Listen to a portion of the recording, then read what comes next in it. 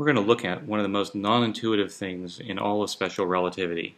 For me, one of the biggest surprises when I first started learning the subject. It seems so intuitive to be able to say that two events are simultaneous or occur at the same time.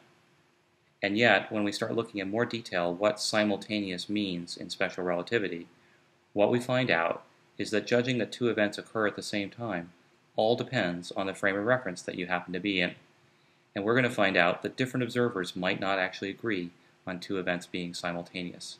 This is referred to then as the relativity of simultaneity, and for me, again, it was quite a surprise. To really demonstrate this, let's think about the following thought experiment. And in this thought experiment, we're going to use, remind ourselves over and over again of how we use the speed of light to judge time.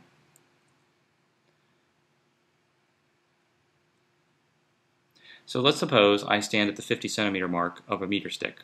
I'm right at the middle. I'm going to designate the left end of the meter stick as A, the middle is B, and the right end of the meter stick is C.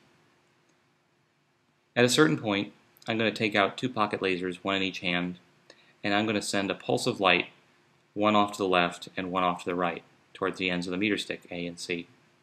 Since I'm standing at exactly the center, then those pulses of light should arrive at the ends of the meter stick at exactly the same time. For me, standing at the center like this, I would judge that those two events, namely the arrival of the pulse of light at A and the arrival of the pulse of light at C, as being simultaneous. Sounds so reasonable when I say it like this.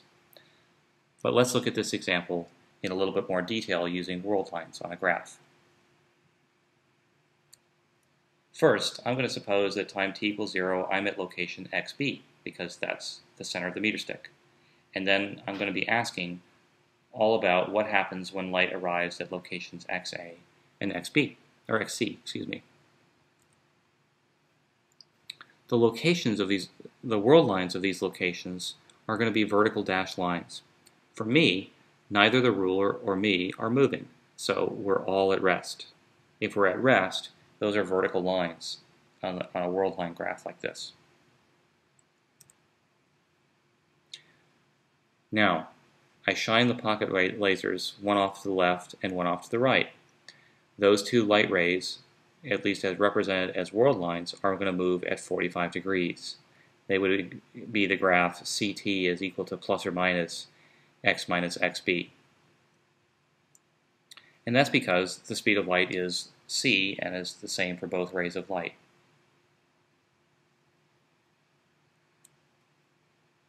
The left ray will arrive at, at location x sub a at a time t sub a.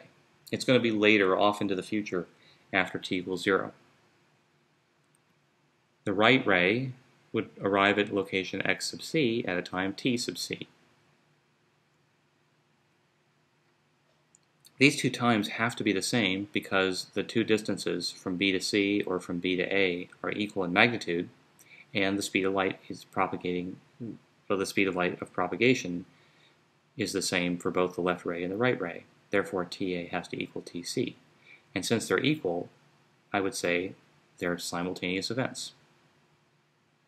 Another way to show simultaneity on this graph is to point out that the, the times TA and TC are equal or parallel to the x-axis. But let's look at the situation from another perspective. Let's suppose it's you and the ruler whizzing past me on the, in the lab. I see all of you, the ruler and, and yourself, passing by with velocity v. I think I'm at rest, and I think you're moving. As a result, I would draw world lines for U at location B and the tips of the ruler at locations A and C like this. They would be sloped because all of you are moving at the same speed through the lab. That slope has to equal, um, or the tangent of that slope has to equal the tangent of V over C, where V is the velocity of U in the ruler, and that ratio V over C is sometimes called beta. When beta approaches 1, and v therefore approaches c, then this tangent approaches 1, and that means that we're moving at 45 degrees on this world line graph. But you're not moving at the speed of light because you know that's a little bit fast for you. So you're moving at some lower speed, and that's going to indicate what the slope is on these world lines. Now, the light rays that you send out happen at some point in the middle of this process, but by Einstein's second, uh, by Einstein's first postulate, I have to say that those light rays are moving at speed c, just like you did. I'm not going to change that observation because by postulate or by, uh, by first principles, there's no derivation of this. It's just a postulate in relativity. All of us are going to agree on the speed of light. So I'm going to draw world lines from the flash point at location B off into the left and off into the right that are at 45 degrees.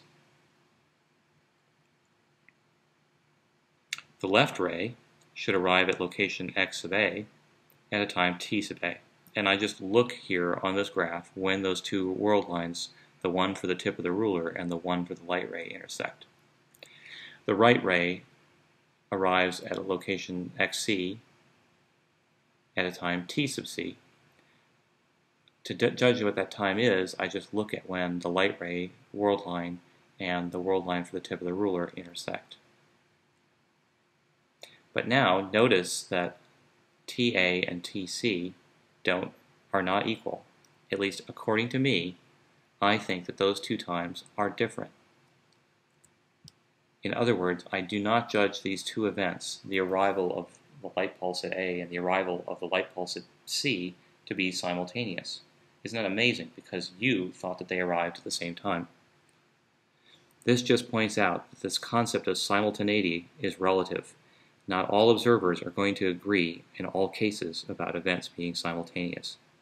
I will say that there are circumstances in which all cases, all observers will, will agree on simultaneity or not.